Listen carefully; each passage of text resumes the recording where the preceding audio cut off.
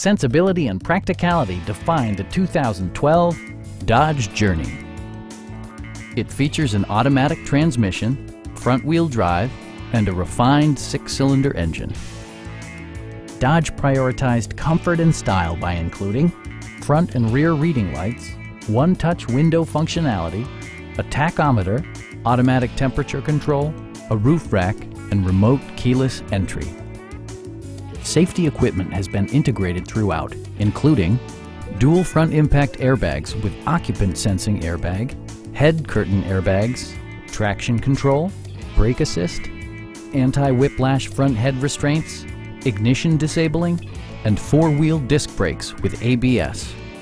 For added security, Dynamic Stability Control supplements the drivetrain. Please don't hesitate to give us a call